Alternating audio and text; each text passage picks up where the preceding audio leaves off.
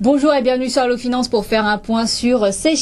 Un objectif annoncé d'une progression de 15% de son EBITDA pour 2011 et ces chiliennes décolle en bourse de Paris. Dans les premiers échanges hebdomadaires, le titre du spécialiste des énergies vertes a le vent en poupe et bondit de 3,63% actuellement à 16,97 euros. Qui publiera ses comptes euh, semestriels le 28 juillet prochain euh, entend poursuivre son développement dans chacun de ses secteurs d'activité et confirme par la même occasion ses, perspectives de croissance pour l'ensemble de l'exercice 2011. À conditions économiques comparables, l'EBITDA de ces chiliennes devrait se progresser d'environ 15% en 2011, notamment du fait des produits de défiscalisation à percevoir au raccordement avant le 31 mars 2011.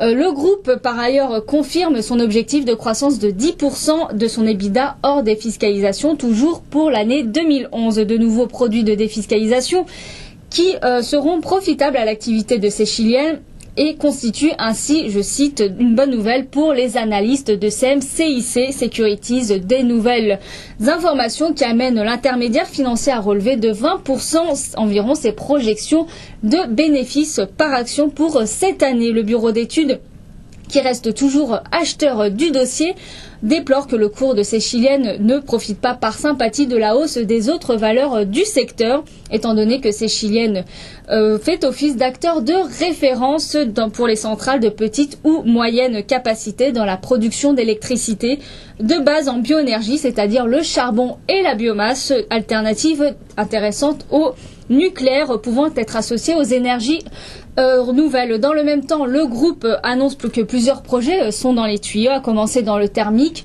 où euh, la commission de régulation de l'énergie vient d'accorder son, feu vert à la signature d'un contrat de 30 ans de fourniture d'électricité à partir de la future centrale thermique en Martinique. Dans le secteur photovoltaïque, le groupe a mis en service euh, plusieurs centrales, dont euh, certaines à Kourou et aussi en Guyane. Par ailleurs, euh, le secteur éolien aussi euh, est euh, encore en poupe avec la mise en service du parc des crêtes des Niels au Pas-de-Calais qui devrait intervenir au cours des prochaines semaines.